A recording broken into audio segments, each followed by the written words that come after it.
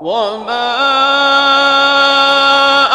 فاسألوا أهل الذكر إن كنتم لا تعلمون فاسألوا أهل الذكر إن كنتم لا تعلمون فاسألوا أهل الذكر إن كنتم لا تعلمون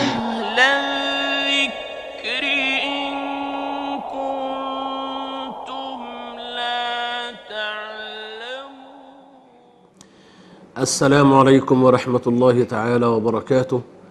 إن الحمد لله نحمده ونستعينه ونستهديه ونستغفره ونعوذ به تعالى من شرور أنفسنا وسيئات أعمالنا. من يهده الله تعالى فلا مضل له ومن يضلل فلا هادي له. وأشهد أن لا إله إلا الله وحده لا شريك له. وأشهد أن محمدا عبده ورسوله. أما بعد فإن أصدق الحديث كتاب الله تعالى وخير الهدي هدي محمد صلى الله عليه وآله وصحبه وسلم وشر الأمور محدثاتها وكل محدثة بدعة وكل بدعة ضلالة وكل ضلالة في النار. أيها الأحبة الكرام أهلا ومرحبا بحضراتكم في حلقة جديدة من برنامجكم أهل الذكر. نحن في هذا البرنامج أيها الأحبة الكرام يسعدنا أن نتلقى اتصالات حضراتكم واستفساراتكم عبر الهاتف لنجيب عليها إن شاء الله تعالى بعونه وتوفيقه على الهواء مباشرةً. وحتى نتشرف باستقبال اتصالات حضراتكم معي بعض أسئلة لحضراتكم من حلقات سابقة. يقول السائل بارك الله فيه هل الحامل المرأة الحامل يعني يقع عليها الطلاق؟ وهل هذا الطلاق يعد من أنواع الطلاق السني أم من أنواع الطلاق البدعي؟ أقول وبالله تعالى التوفيق. نعم المرأة الحامل يقع عليها الطلاق لأن الله عز وجل رتب لها عدة في كتابه الكريم. وما دام رتب لها عدة في القرآن الكريم فالعدة معناها أنه قد وقع عليها طلاق. قال الله عز وجل وأولاة الأحمال أجلهن أن يضعن حملهن. طيب خلونا ناخد أول الاتصالات وأعود إلى السؤال مرة أخرى. أم ياسمين ولا أم ياسين؟ السلام عليكم. وعليكم السلام. ازيك يا شيخ شعبان؟ مرحبا حياكم الله. عامل إيه؟ كل سنة بخير والله طيب؟ الحمد لله الله يكرمك. لو سمحت يا شيخ أنا لو أنا بسمع برنامج مثلا اللي اللي زي البرنامج ده واحدة متبرجة أنا عليا ذنب؟ يعني أنا أسمع برنامج في واحدة متبرجة؟ آه يعني في واحدة متبرجة يعني. طيب في سؤال تاني ولا حاجة؟ في سؤال تاني يا أم ياسمين؟ طيب السلام عليكم. السلام عليكم. عليكم السلام ورحمة السلام الله. عليكم يا شيخ مرحبا عليكم السلام. اتفضل. بارك الله فيكم يا رب ربنا يزيدكم يا ويبارك في عملكم الله يكرمك. اتفضل. والله أنا عايز أكلم الشيخ بس تدينا حضرتك الأول رقم الشيخ الدكتور جمال الملاك. آه يعني أي حد في الفقه عندكم اتصل فيها حضرتك الله يكرمك. يعني أنت أنت دلوقتي عايز تليفون الشيخ آه، الدكتور المراكبي يعني؟ آه الدكتور جمال الملاك عند حضرتك؟ لا للأسف الشديد والله. طيب أبو بكر الشاطر عند حضرتك؟ لا لا لا. السلام عليكم. السلام عليكم. ألو. اتفضلي يا بنتي ألو وعليكم مع- السلام. اتفضلي معاك اتفضلي. لو لو سمحت يا شيخ لو واحد ظالم نعم. دعوته مستجابه هو ظالم. أيوه. حتى لو حتى لو كان أب دعوته مستجابه وهو ظالم يعني؟ آه. وسؤال تاني لو سمحت. نعم.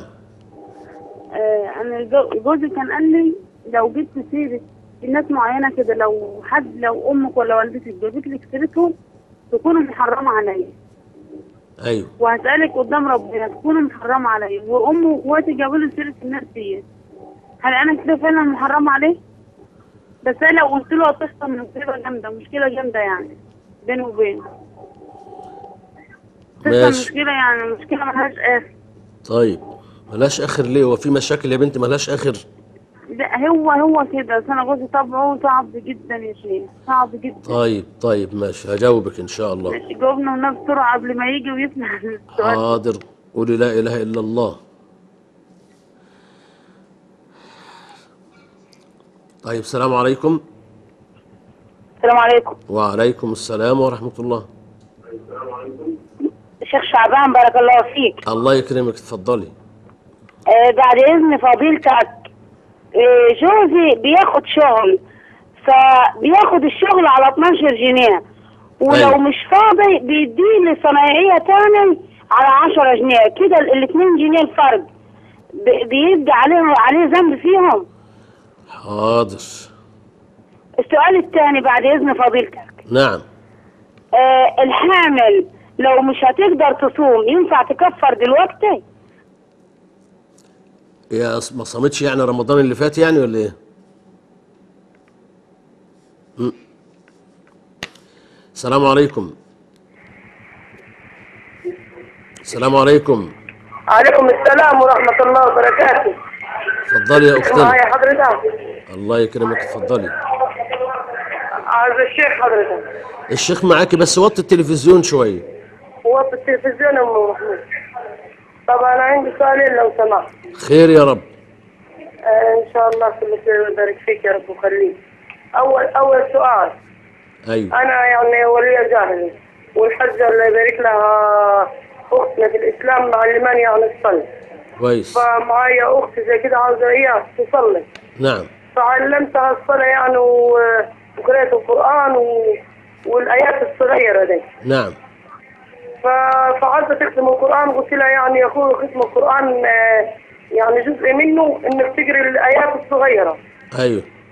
آه تقول لي لا قال لو واحدة قالت لها أختنا في الإسلام برضه تمشي قال صوابعها على المصحف إنك آه، ختمت القرآن. أيوه. هل كده يعني آه، صحيح ولا قلت يعني أخذ ذنب؟ إن أنا ما. خليتهاش مسكت القرآن الثانية جاهله زي حاضر. بارك الله فيك. تفضلي.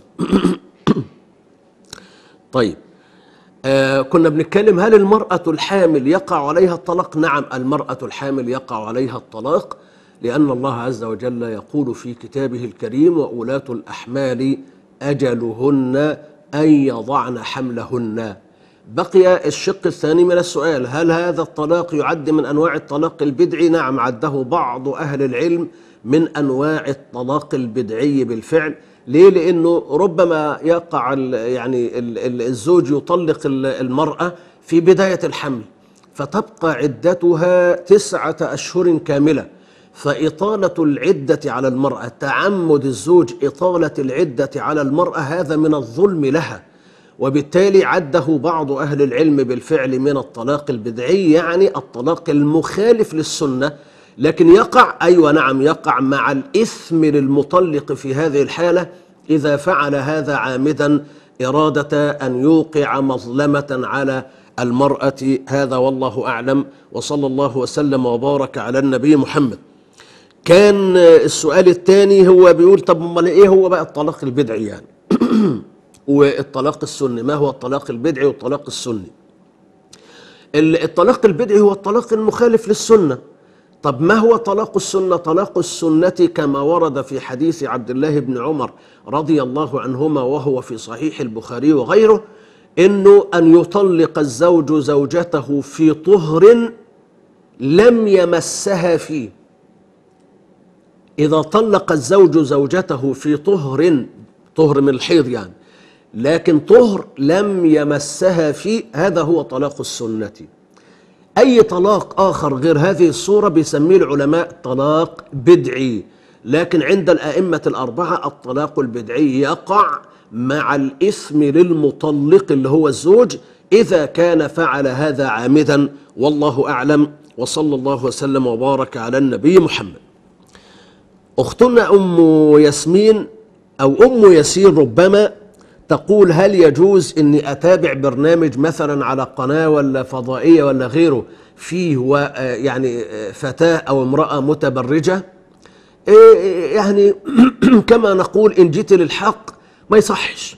نحن نريد أن نقاطع هؤلاء ولا نعطيهم زخما ولا نعطيهم مزيدا من الجماهيرية. ليه؟ لأنه آه، بناتنا بيفتنوا بهذا بهذه ال ال- الفتيات المتبرجات وبهذه النساء المتبرجات. ليه؟ لأن هم ملمعين ويقدموا لبناتنا على أنهم نماذج وعلى أنهم قدوات للمجتمع.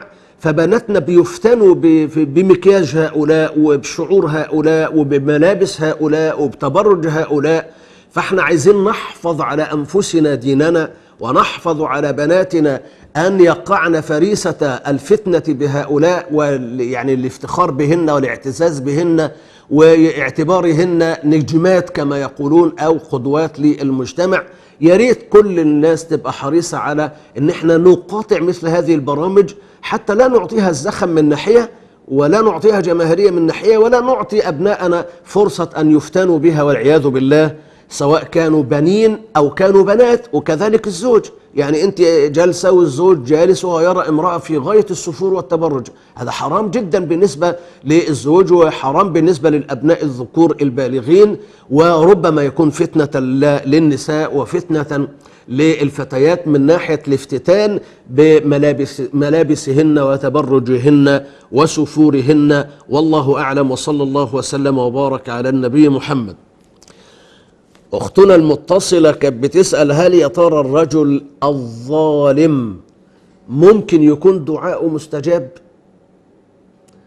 طبعا مش ممكن يكون دعاءه مستجاب لأنه الدعاء حتى يكون مرشحا للاستجابة أو مرشحا للإجابة آه، من الله تبارك وتعالى لابد أن يستوفي شروطا وآدابا وأن يجتنب الداعي موانع استجابة الدعاء فالنبي عليه الصلاة والسلام قال يستجاب لأحدكم ما لم يدع بإثم أو قطيعة رحم والذنوب والمعاصي ومنها المظالم التي نوقعها على الآخرين الذنوب والمعاصي تباعد بين الدعوات وبين استجابة الله عز وجل لها الايه آه. فسواء كان الأب بقى ولا الزوج الإنسان الظالم المتعدي ربما دعواته أبعد ما تكون عن الاستجابة لكن يمكن هو الاشتباه كما يعني أضاف أخونا الأستاذ أيمن هي مشتبه عليها أنه دعوة الوالد آه، مستجابة ودعوة الوالدة مستجابة طب لو الوالد والوالدة دول ظالمين وأصحاب ذنوب ومعاصي هل تستجاب دعواتهم؟ بالطبع ال- ال- المبدأ العام إنه دعوة الوالد مستجابة إذا استوفت الشروط وانتفت موانع إجابة الدعاء. يعني مش كل دعاء للوالد مستجاب ومش كل دعاء للوالدة مستجابة ومش كل دعاء لأي والد يستجاب أو لأي والدة يستجاب إلا أن تستوفي الدعوات الشروط والآداب من ناحية وتنتفي موانع استجابة الدعاء من ناحية أخرى. لكن إحنا عموما كأبناء وبنات لهؤلاء الآباء والأمهات لابد أن نحذر أن تقع علينا دعوة من دعوات الآباء والأمهات خشية أن توافق الساعة من ساعات الإجابة وتكون نفس الدعوة دي آه، استوفت الشروط وانتفت عنها موانع إجابة الدعاء. فنقع نحن في آه، بأس بؤس شديد والعياذ بالله هذا والله أعلم وصلى الله وسلم وبارك على النبي محمد. بنتنا كان بتسأل الزوج حلف عليها لو جبتي سيرة بيت فلان أو لو أهلك في البيت عندكم والدتك وإخواتك جابوا لك سيرة بيت فلان فتكوني متحرمة عليا الواجب على الزوجة في مثل هذه الحالة إن هي تبلغ أهلها. يا أهلي يا والدتي يا إخواتي يا إخواني آه الزوج حلف بالمعنى الفلاني. الله يكرمكم لما أجي عندكم ما تجيبوش سيرة الناس دول على الإطلاق. وأنا موجودة في وسطيكم لأنه هو حالف لو جبتوا سيرتهم وأنا معاكم فأكون محرم عليه. ده أول حاجة. عشان ال- الأهل ما يقعوش في المحظور. الأمر الثاني هل اليمين دي من الزوج سليمة؟ لا طبعا مش سليمة ولا صحيحة إنما هذه من الأيمانات الخاطئة والعياذ بالله. ليه؟ لأنه تحرمي علي ديت لها معاني متعددة. الفيصل فيها نية الزوج. يعني قد يكون ينوي بها يمينا. نقول له ده أنت حلفت يمين خاطئة ويمين محرمة وعليك التوبة والندم والاستغفار وكثرة العمل الصالح لأنه حلف بغير الله عز وجل. ولو الزوجة أوقعت اليمين ففي هذه الحالة آه، سيكون عليه كفارة اليمين إطعام عشرة مساكين إن كان مستطيعا وإلا هيصوم ثلاثة أيام. أحيانا يكون الزوج لا ينوي بها الحلف إنما ينوي بها التهديد هيبقى نفس ال- الحكم. أحيانا ثالثة ينوي بها الطلاق بالفعل. ففي هذه الحالة يقع بها الطلاق لو الزوجة أوقعت اليمين أو لو أهلها جابوا سيرة الناس دول وهي موجودة في وسطهم وبالتالي سيقع اليمين وتحسب طلقة على ال- الزوجة. الحالة الرابعة من الممكن أن ال- الزوج لا يقصد التهديد ولا يقصد الحلف ولا يقصد الطلاق إنما يقصد الظهار. يعني كأنه بيقول لها تحرامي علي زي أمي وزي أختي أو ما حسب ما يقولون. لو هو يقصد بها الظهار ففي هذه الحالة إن وقع اليمين وهي جابت سيرة الناس دول أو أهلها جابوا سيرتهم اليمين هتقع والحكم على الزوج في هذه الحالة كفارة ال- ال- الظهار العظمى. صيام شهرين متتابعين من قبل أن يتماسا قبل ما يقترب من الزوجة. أو إذ عجز عن صيام الشهرين المتتابعين هيطعم ستين مسكينا وبالتالي تكون هذه هي كفارة الظهار والظهار لا يقع به طلاق في الغالب إلا إذا قصد به الزوج طلاقا كما هو عند الإمام الشافعي عليه رحمة الله والله أعلم وصلى الله وسلم وبارك على النبي محمد. السلام عليكم. عليكم أم محمد. عليكم السلام ورحمة الله وبركاته. اتفضلي فضيلة الشيخ بعد إذن حضرتك عندي سؤالين. خير يا رب. بص معلش يعني أنا دلوقتي يعني الحمد لله كان معايا ولد ومات وهو عنده 21 سنة. نعم. هو كان مك... يعني غير مكلف كان عنده إعاقة ذهنية وجه في آخر أيامه وتعب وال- يعني الحمد لله مات في رمضان اللي قبل اللي فات ده على طول. نعم. أنا يعني عايزة أعرف هل ده ابتلاء من ربنا أو أنا معيش غيره؟ والحمد لله يعني وما عنديش أولاد. نعم. هو تعب تعب جامد جامد في آخر أيامه. بس أنا كل ما بفتكر منظره وهو تعبان وبفتكر رقبته على السرير يصعب عليا و... يعني الحمد لله أنا حمدت ربنا و... أي نعم أنا ساعتها قلت كلام يعني الحمد لله بس استغفرت ورجعت لربنا. الحمد هل لله ده ذنب؟ يعني ده ابتلاء من ربنا ولا يعني ده ذنب ربنا بيخلصني ده السؤال الأول. السؤال الأول. السؤال الثاني زي ما قلت لحضرتك أنا ما عنديش أولاد. ألو. معاك معاك. آه، السؤال الثاني يعني أنا دلوقتي عايشة في شقة أنا وجوزي هي ورث الأرض إحنا الإخوات الأربع بنات إحنا إخوات أربع بنات كل بنتين ليهم شقة. فأنا جوزي عايش معايا نظرا اللي كان ظروف والدي الله يرحمه فجوزي كان عايش معايا في نفس الشقة دي. نعم. أنا دلوقتي معايا عندي معاشي بي- بي- بيتبقى منه يعني مبلغ كل شهر. فلو حبيت أعمل صدقة جارية ليا آه، من المعاش ده أو من الفلوس اللي أنا بشيلها من المعاش ده ده يبقى حرام عليا ولا أنا كده أبقى حرمت حد من الميراث؟ ده ده ده معاشي أنا خاص بيا. ماشي يعني حاضر. فلوسي أنا خاصة بيا. هل حاضر لو أنا وصيت أختي من إخواتي تعمل لي صدقة جارية أو اديت لها مبلغ أو أنا عملت صدقة جارية لنفسي بحوالي ربع المبلغ اللي معايا يبقى حرام عليا أو أنا كده حرمت حد من الورثة أو حاجة؟ حاضر. حاضر يا أختنا إن شاء الله حاضر. السلام عليكم. السلام عليكم. السلام عليكم. وعليكم السلام ورحمة الله وبركاته. اتفضلي يا بنتي. لو سمحت يا شيخ أنا يعني كل كل عيد فطر يعني لما بطلب من زوجي إن إحنا نطلع زكاة الفطر يعني بدري شوية أو بالليل فبيقول لي إن أفضل وقت ليها قبل قبل قبل الصلاة يعني. نعم. فالعيد الفطر اللي فات دوت يعني يعني راحت علينا نومة ولما قم يعني لما صحينا من النوم كان فاضل قبل قبل صلاة العيد حوالي عشر دقايق.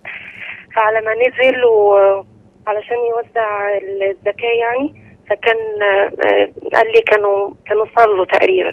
نعم. فيعني إيه حكمها.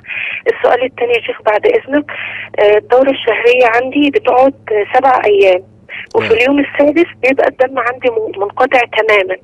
وبينزل اليوم السابع بي- بيكمل. فالشهر اللي فات آه، في اليوم السادس آه، كالعادة ما- فيش حاجة. واليوم السابع برضو آه، خلفت معايا وما ما فيش أي حاجة. كويس. وانقطعت على كده. أنا عليا بس في اليومين دول بقى ما كنتش بصلي يا شيخ. فأنا عليا قضاء الص- الص- الصلاة اليومين دول. هي أول أول شهر تعمل معايا كده. يعني ما نزلتش تاني. شكرا يا شيخ. ماشي. عليكم السلام ورحمة الله. السلام عليكم. السلام عليكم. وعليكم السلام. ممكن أسأل فضيلة الشيخ لو سمحت؟ معاك اتفضلي. السلام عليكم. عليكم السلام ورحمة الله. بقول لحضرتك أنا عندي جوزي متجوز فيه بقاله 13 سنة والصورة بتاعته ما بقدرش أشيلها من الريسبشن ابدا. آه. قالوا حرام إن أنت تعلقي الصورة تحطيها. هل ده حرام ولا حلال؟ حاضر.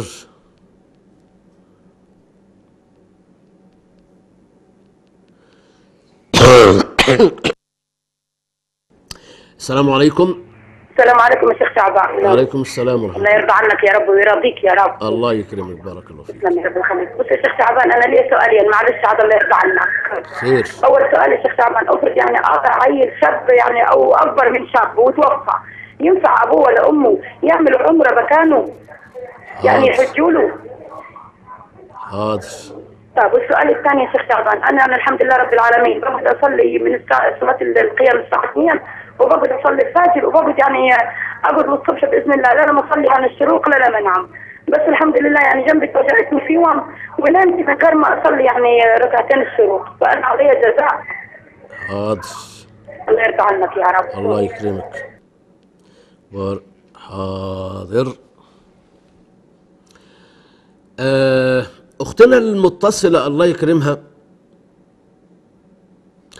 كان بتسأل زوجها آه، يبدو أنه هو صنايعي محارة معلم محارة بياخد الشغل أحيانا المتر ب 12 جنيه أو ممكن هو اللي يشيله ويشتغله وأحيانا يدي نفس الشغل ده لصنايعي آخر ب 10 جنيه وياخد هو ال 2 جنيه الفرق فهل المعاملة دي سليمة؟ أيوة طبعا سليمة ليه؟ أولا هذا عرف السوق.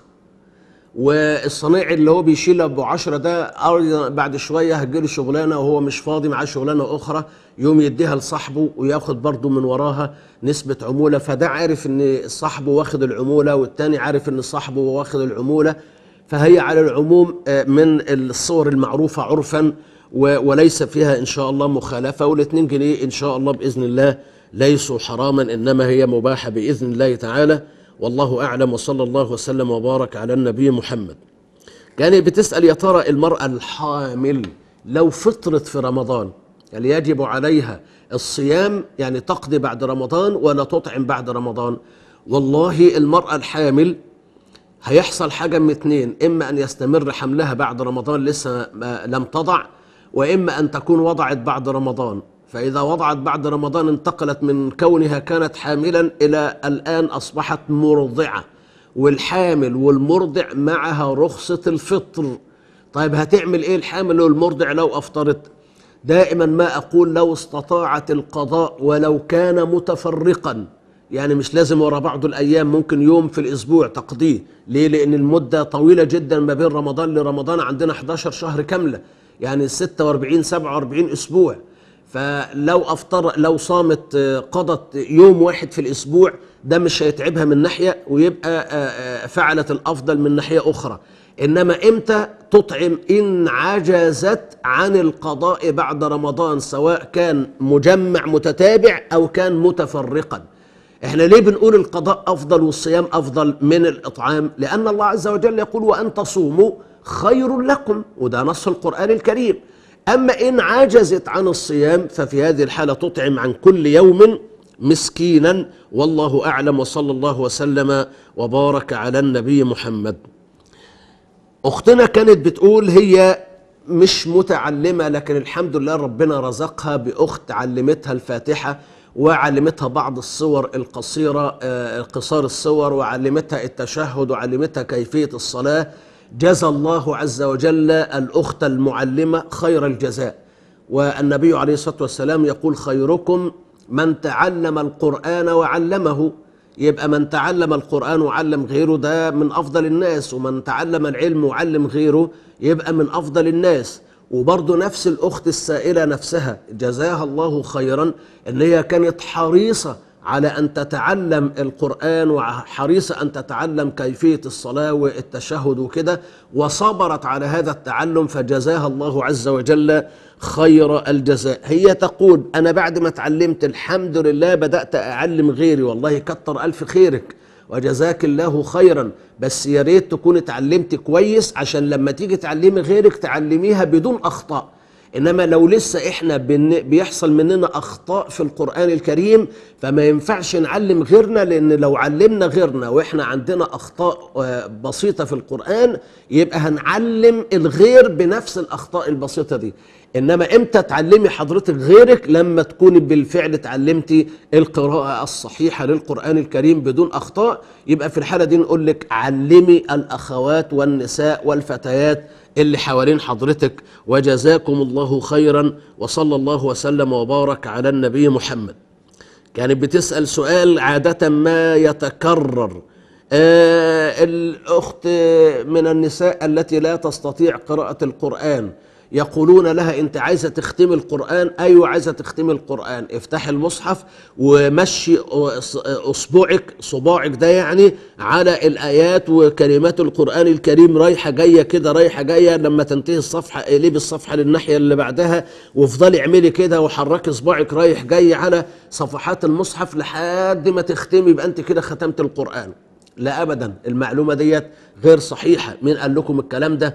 إنما إحنا عندنا إما أن نقرأ القرآن الكريم والنبي عليه الصلاة والسلام يقول الماهر بالقرآن يعني اللي بيعرف يقرأ كويس. الماهر بالقرآن مع الكرام السفرة البررة. طيب واللي مش ماهر قوي يعني مش بيقرأ كويس مية مية يعني ممكن يحصل خطأ بسيط ولا خطأين ولا ثلاثة قال والذي يقرأ القرآن ويتتعتع فيه وهو عليه شاق له أجران. فإذا كنا بنقرأ مئة في المئة قراءة صحيحة ده أفضل الأفضل. عندنا أخطاء بسيطة لكن بنقرأ ولو كان عندنا أخطاء بسيطة خير وبركة. النبي يقول عليه الصلاة والسلام له أجران أيضا أجر القراءة وأجر المشقة وصعوبة ال- ال- القراءة عليه. وهو بيحاول يجاهد عشان يقلل حجم الأخطاء أو عدد الأخطاء في القراءة. إنما إذا كان الإنسان لا بيعرف يقرأ قراءة صحيحة ولا قراءة متتعتعة وعايز يختم أو تختم المصحف فبنقول البديل عن القراءة في الحالة دي سماع القرآن الكريم. والنبي عليه الصلاة والسلام كان يحب أن يسمع القرآن الكريم. فاللي بيعرف يقرأ خير وبركة. اللي لا يستطيع قراءة القرآن الكريم البديل هو أن يسمع القرآن الكريم. وكان بعض أهل العلم يقولون إذا أردت أن تكلم الله فاقرأ القرآن الكريم. وإذا أردت أن يكلمك الله فاسمع القرآن الكريم. هذا هو الأفضل. أما مسألة آه، نحط الصباع ونمشي على الصفحات ده فهذا لم يقل به أحد من أهل العلم فيما أعلم. والله أعلم. وصلى الله وسلم وبارك على النبي محمد. أختنا أم محمد نسأل الله عز وجل أن يلهمها الصبر والرضا والاحتساب والقبول إنه ولي ذلك والقادر عليه. آه، ابنها آه، توفي وكان يعني آه، سنه 21 سنة تقريبا ومسكين كان عنده إعاقة ذهنية ويعني بتقول يا ترى ده ابتلاء من الله سبحانه وتعالى لأن ما عنديش غيره ولا ده عق- عقاب لي على ذنب أنا عملته؟ أبدا إنما هو ابتلاء فقط. آه، فربنا عز وجل آه، كما قال في القرآن الكريم ونبلوكم بالشر والخير فتنة. وفي قرآن ربنا تبارك وتعالى ألف لام ميم أحسب الناس أن يتركوا أن يقولوا آمنا وهم لا يفتنون ولا يعني يفتنون يعني يمتحنون يعني ويبتلون. آه، ولقد فتنا الذين من قبلكم فلا يعلمن الله الذين صدقوا ولا يعلمن الكاذبين. لتبلون في أموالكم وأنفسكم. نبلى في أموالنا أو نبلى في أنفسنا بالمرض أو بالموت. فكل دي ابتلاءات من الله تبارك وتعالى. نسأل الله إن شاء الله عز وجل أن يمن علينا وعليكم بالرضا والاحتساب والقبول. إنه ولي ذلك والقادر عليه. آه، كان لها سؤال تاني. تقول أنا ما عنديش مراء ما عنديش آه، آه، يعني أولاد. وبالتالي عايشة مع الزوج وليا معاش أحيانا بيفيض منه آه، مبلغ ومدخرة من وراء المعاش ده مبلغ معين فيا ترى ممكن أعمل لنفسي صدقة جارية؟ آه طبعا ممكن تعملي لنفسك صدقة جارية ويستحب لك إنك تعملي لنفسك صدقة جارية أو توصي من وراءك أختك ولا أختك دي ولا دي إن هي تعمل لك صدقة جارية سواء هتختاريها بنفسك الحاجة الفلانية أو تسيب لهم حرية الاختيار بس توصيهم إن هم يعملوا لك الصدقة الجارية. ولما تعملي الكلام ده لا تزيدي إذا وصيتي يعني أختك تعمل من بعدك لا تزيدي في الوصية إن هي تعمل الصدقة بأكثر من الثلث. لأن هي تعمل الصدقة بأقل من تلت المبلغ أقل من التلت لأنه النبي عليه الصلاة والسلام قال الثلث والثلث كثير. خلينا ناخد اللي أقل من التلت اللي هو الربع. فإما أنك تعملي الله يكرمك الصدقة على رأس حياتك بنفسك وفي الحالة دي أنت حرة تعمليها بالربع ولا بالتلت ولا بأكثر ولا بأقل وإما أنك لما توصي أختك توصيها إن تعمل الصدقة الفلانية في حدود ربع المبلغ لا تزيد. هذا والله أعلم. وصلى الله وسلم وبارك على النبي محمد. بنتنا المتصلة زوجها ربنا يكرمه آه، رجل متسنن وملتزم وعنده علم ما شاء الله. وبالنسبة لزكاة الفطر يقول لها انه أفضل أوقات أداء زكاة الفطر قبل خروج الناس إلى صلاة العيد.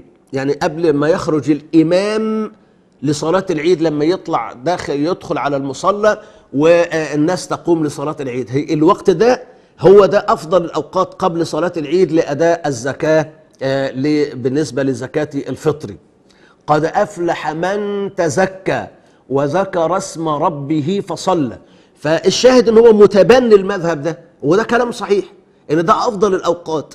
لكن أفضل الأوقات دائما لما كنا بنتكلم فيه في حلقات سابقة كنا بنقول هو أفضل الأوقات آه لكنه وقت المغامرة وقت غير مأمون مش مضمون. ليه مش مضمون؟ أنا ممكن آه، تروح عليا نومة زي الأخت ما قالت كده إن هي والزوج راحت عليهم نومة. وارد لسبب أو لآخر راحت علينا نوم. فضاع الوقت وما أدناش زكاة الفطر لا فيه ولا قبله. وأحيانا آه، ممكن ننزل عشان واخدين الشنطة ولا الشنطتين ونروح نخبط على الراجل ده نلاقيه الراجل الفقير الفلاني ده راح يعيد في البلد. نخبط على الراجل الفقير التاني ده نلاقيه خرج وقفل الباب وراح يصلي العيد. فوارد إن إحنا إيه ب- بمفاجآت في التوقيت ده لأنه توقيت ضيق جدا ما يدينيش مرونة في ال- التصرف في بدائل كده ولا كده. فهو وإن كان الأفضل لكن لا يجب المغامرة بتحري هذا الوقت بالذات لأنه العملية مش مضمونة زي ما شفنا بنتنا والزوج راحت عليهم نوم. لكن هو في النهاية عبال ما وصل للفقراء المعنيين اللي هيديهم كانوا الناس صلوا العيد. يعني انشغل بأداء زكاة الفطر وهو نفسه ما صلاش العيد. وكان الناس صلوا العيد. آه دي تجربة تعلمنا إن شاء الله عز وجل في السنوات القادمة. يا سيدي بدل ما تستنى لهذا الوقت الضيق جدا وقت المغامرة اللي غير مضمون يا سيدي آه، أديها بالليل بعد صلاة العشاء. صلي المغرب وصلي العشاء واطلع بزكاة الفطر يبقى أنت أديتها ليلة العيد. يبقى أحسن كتير وأضمن كتير وامن كتير. يعني إحنا مش أفضل من الصحابة ومش أحسن تدينا وورعا من الصحابة ومش أعلم من الصحابة. قال نافع آه، رضي الله عنه اللي هو مولى عبد الله بن عمر كما في صحيح البخاري وغيره وكان ابن عمر سيدنا ابن عمر ده صحابي وسيدنا ابن عمر ده كان من آه، الصحابة اللي بيتحروا جدا سنة النبي عليه الصلاة والسلام. قال نافع وكان ابن عمر يعطيها للذين يقبلونها يعني المستحقين لها يعني قبل العيد بيوم أو يومين. فإحنا نتعلم من عبد الله بن عمر إن هو بيؤدي الزكاة في الوقت الآمن الوقت المضمون اللي غير آه، م- آه، الذي لا يحتمل ال- المغامرة. لكن على العموم يا بنتي هو درس نتعلمه إن شاء الله في السنوات القادمة.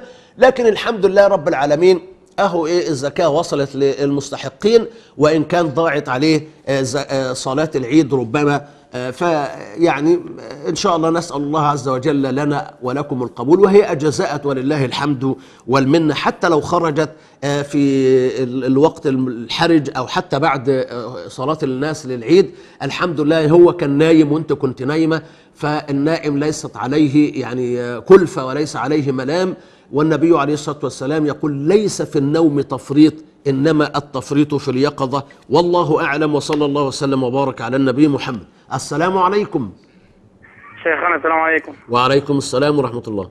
إزي حضرتك يا فندم؟ مرحبا مرحبا. آه، ربنا رزقني الحمد لله. آه، جه اسمي في قراءة الحجاج فلي بس بعض استفسارات بعد إذن حضرتك؟ اتفضل جزاكم الله خيرا. عند عند الطواف هل يسن عند كل صوت آه، بمسجد الحجر الأسود إن أقول بسم الله والله أكبر أم في المرة الأولى فقط؟ طيب. هذا السؤال الأول. السؤال الثاني بعد إذنك. نعم. هل المتمتع عليه طواف قدوم؟ حاضر. آه، السؤال الثالث وجزاكم الله خيرا. آه، هل طواف الوداع بعد انتهاء ثالث أيام التشريق أم عند ال- مغادره ال- ال- الأرض السعودية؟ حاضر. آه، معلش أنا آسف آه، في سؤال تاني بعد إذنك أو سؤالين. اتفضل. ربنا يجزاك خير يا رب. آه، آه، عند الزهاء إذا انتقد الوضوء عند الطواف آه، هل نعم. آه، آه، نتوضأ؟ وهل نعيد من الأول أم نكمل الاشواط؟ حاضر. آه، عند الذهاب من مزدلفة إلى عرفات هل بعد الفجر أم بعد الشروق؟ من مزدلفة إلى عرفات؟ آه. لا من عرفات إلى مزدلفة بقى. آه، من ع- من منى آه، معذرة من منى إلى عرفات. من منى يوم الت- التروية يعني. يوم التروية إلى عرفات. آه. أيوه. ولو, ولو هو متمتع فندم لو متمتع. هو دلوقتي بي- بيقول لبيك اللهم عند الميقات بيقول لبيك اللهم عمرة أم لبيك اللهم عمرة متمتعا بها إلى الحج؟ حاضر. يوم التروية. مم. يوم التروية آه أنا ب... لو أنا متمتع بقول مثلا لبيك اللهم حجة مثلا قبل الظهر وأذهب إلى آه منى. جزاكم الله خيرا جزاكم. الله خيرا. بارك الله فيك. آه في اتصال في اتصال يا أستاذ أيمن؟ طيب ناخد اتصال كمان. السلام عليكم. السلام عليكم.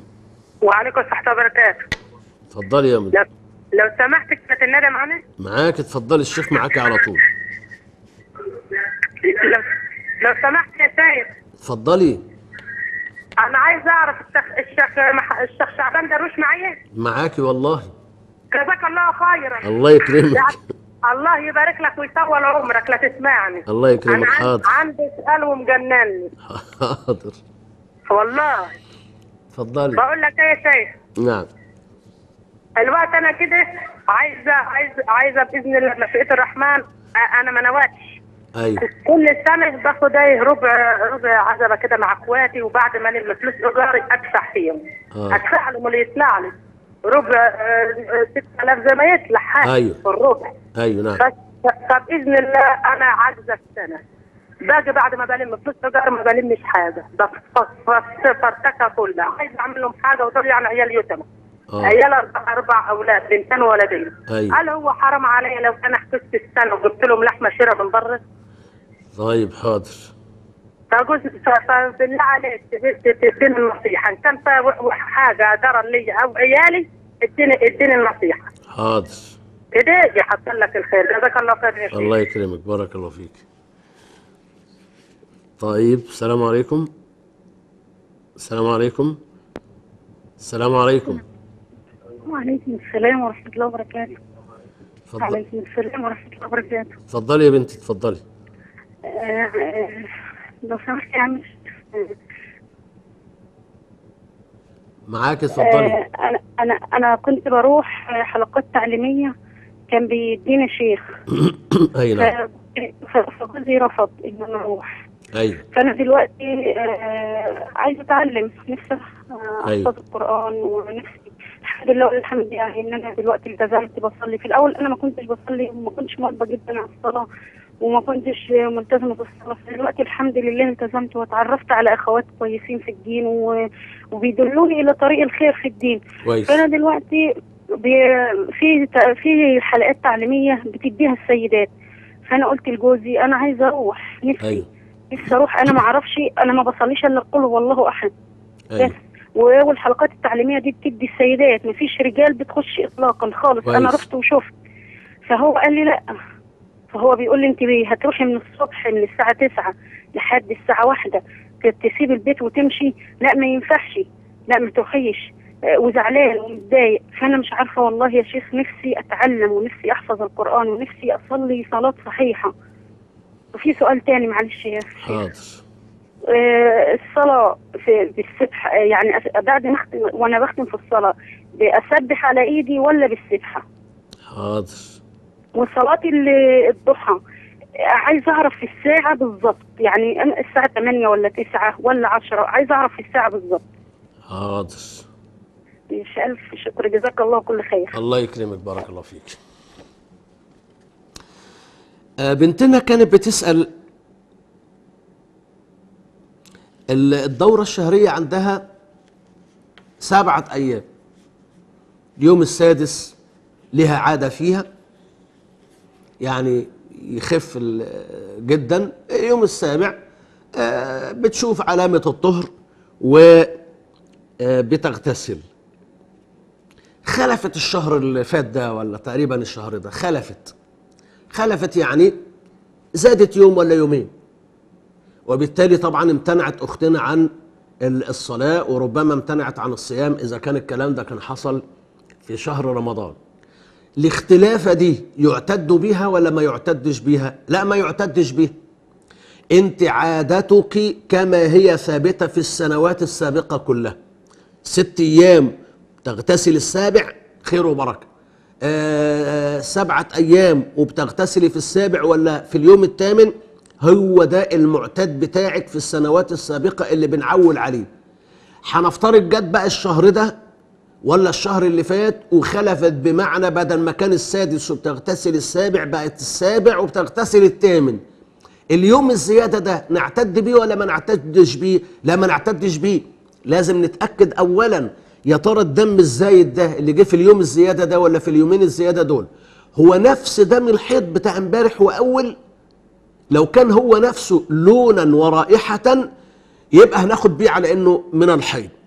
لكن لو اختلف لون الدم ولا رائحة الدم عن الدم المعتاد بتاع الدورة الشهرية اللي حضرتك متعودة عليها يبقى في الحالة دي الاختلاف ده معناها إن الدم ده ليس من الحيض بيسموه في الشرع علماء الشريعة بيسموه استحاضة والأطباء بيسموه نزيف. ففي حالة اليوم الزايد اللي هو مش من الحيض لاختلاف لون الدم ورائحته عن دم الحيض السابق بنعتبره استحاضة لا تمنع من الاغتسال والطهر والصلاة والصوم أبدا إنما وقت ما نعوز نصلي في أيام فيها استحاضة بنتوضأ لكل صلاة مكتوبة كما أرشد إلى ذلك النبي عليه الصلاة والسلام. ماشي؟ آه الأخت اتصلت المتصلة بتقول الزوج الله يرحمه. وهي معلقة صورة الزوج في مدخل البيت في الصالة. هي بتقول طبعا ال reception. إحنا مش عايزين نستخدم المصطلحات بتاع ال reception دي لأن دي مش مصطلحات لغة العرب لغة النبي لغة القرآن الكريم. إنما هنقول في صالة البيت. فالشاهد هي مش قادرة أشيلها. لا طبعا مش قادرة دي أنا مش موافقك عليها. مش قادرة ديت عشان العواطف. إنما لما نبقى عارفين إنه النبي قال لنا عليه الصلاة والسلام إنه تعليق الصورة تبقى ظاهرة كده في البيت في مكان بارز على الحيطة يمنع دخول الملائكة. في الحالة ديت هنضطر أنت وأنا غصب عننا نسمع كلام سيدنا النبي عليه الصلاة والسلام. اولا عشان هو النبي. إنما كان قول المؤمنين إذا دعوا إلى الله ورسوله ليحكم بينهم أن يقولوا سمعنا وأطعنا. ما كان لمؤمن ولا مؤمنة إذا قضى الله ورسوله أمرا حتى ولو كان مستحب أن يكون لهم الخيرة من أمرهم. الأمر الثاني عشان دي بتمنع دخول الملائكة وده حصل مع النبي نفسه عليه الصلاة والسلام لما السيدة عائشة آه، وضعت القرام الستارة اللي عليها تصاوير على الجدار على الحائط وقال لها النبي عليه الصلاة والسلام اميطي عني قرامك هذا فإنه منعني أن يدخل علي جبريل آنفا. رضي الله آه، عليه الصلاة والسلام. سيدنا جبريل لما جه يدخل في غرفة النبي عليه الصلاة والسلام في بيت السيدة عائشة وجد الصورة. ما دخلش عمل يهو مع النبي عليه الصلاة والسلام. فاحنا آه، نسمع كلام النبي ونغالب العاطفة بتاعتنا. أيوه طبعا نسمع كلام النبي ونغالب هذه العواطف. آه، ثانيا عشان هي بتمنع دخول الملائكة. الله يكرمك. شيل الصورة المتعلقة دي حطيها في آه، الكومودين ولا حطيها في الدولاب. موجودة أهي في البيت موجودة ومستورة غير ظاهرة وغير معلقة بحيث لا تمنع دخول الملائكة من ناحية وتبقي حضرتك سمعت كلام النبي عليه الصلاة والسلام من ناحية أخرى. والله أعلم وصلى الله وسلم وبارك على النبي محمد. أختنا المتصلة بتسأل يا ترى نقدر نعمل عمرة للميت؟ ونقدر نعمل حجة للميت؟ يا ريت. من ناحية نقدر يعني مباح في الشرع. آه طبعا مباح. آه، الحج عن الغير مباح والعمرة عن الغير مباحة. والنبي عليه الصلاة والسلام في حجة الوداع سمع الراجل الصحابي بيحرم ويهل لبيك اللهم عن شبرمة. شبرمة ده واحد غيره يعني واحد تاني يعني. فالنبي عليه الصلاة والسلام قال أحججت عن نفسك أولا؟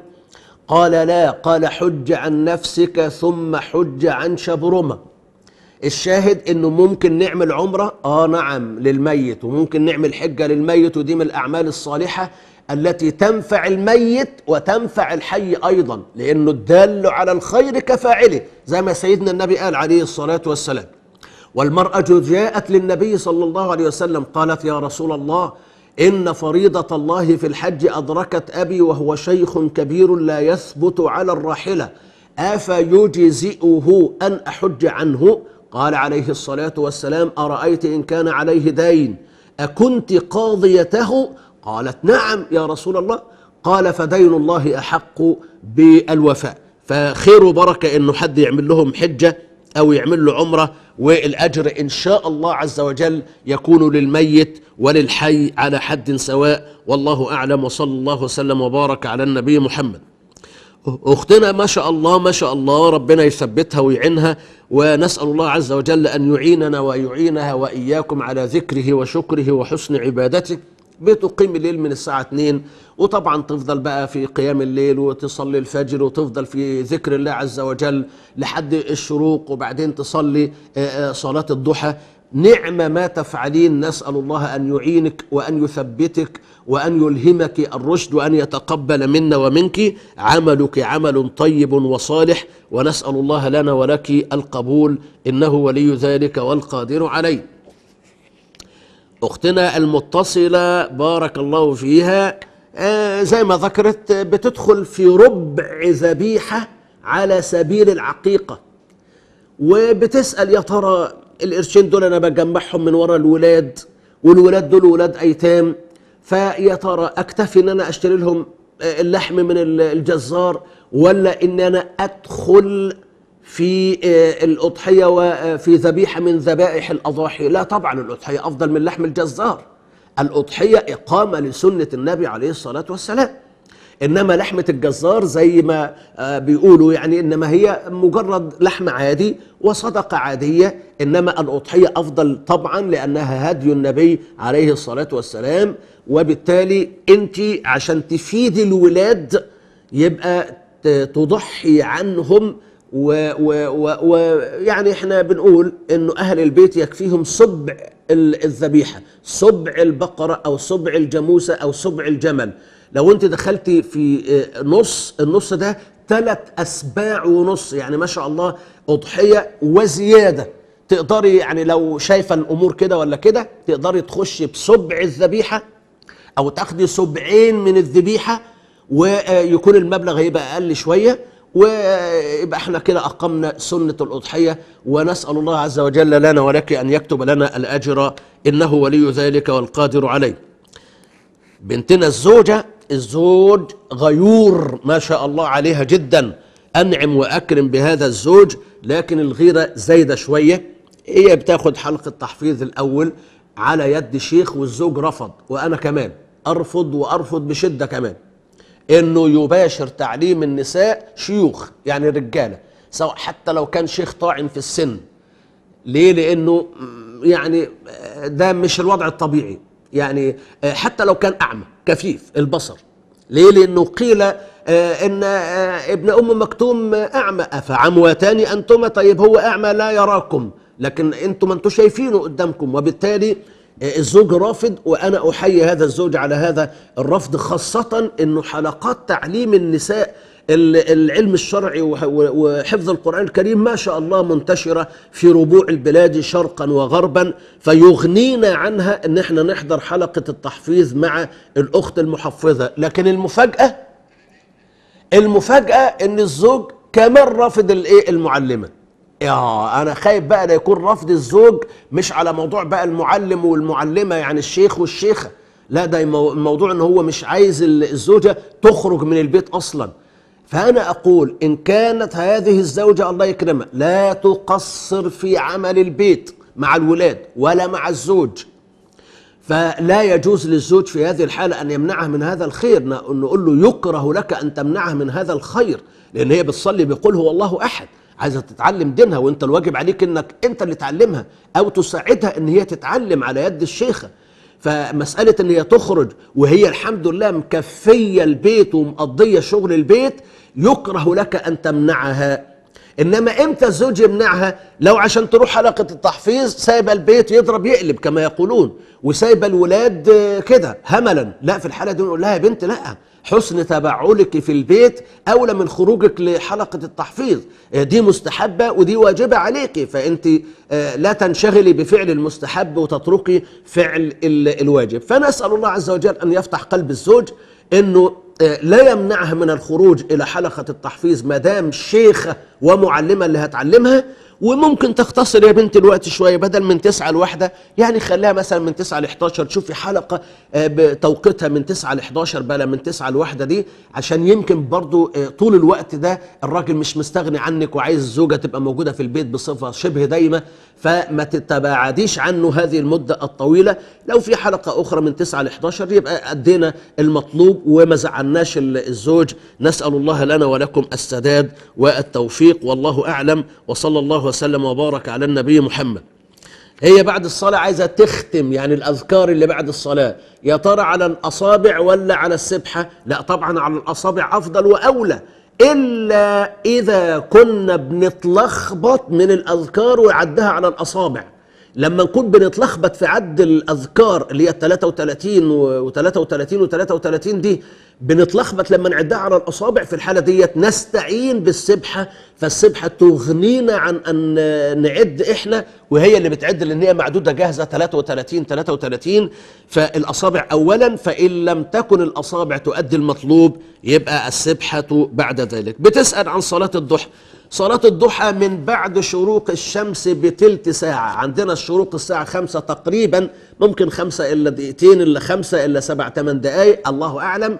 يعني آه، على خمسة ونص كده تقدري تصلي أو على خمسة وتلت تقدري تصلي الضحى. وكل ما تتأخري بعد خمسة وتلت يكون أفضل. يعني تمانية تسعة أفضل من الساعة خمسة وتلت وخمسة ونص وستة دي.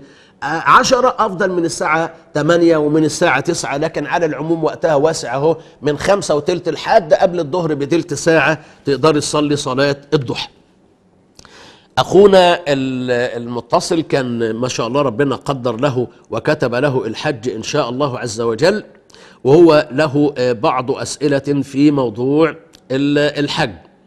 فبيسأل على سبيل المثال في الطواف هل في كل شوط يلزمني لما آجي عند الحجر الأسود آه، أشير إليه وأقول بسم الله والله أكبر؟ أيوة هذه هي السنة عن النبي عليه الصلاة والسلام.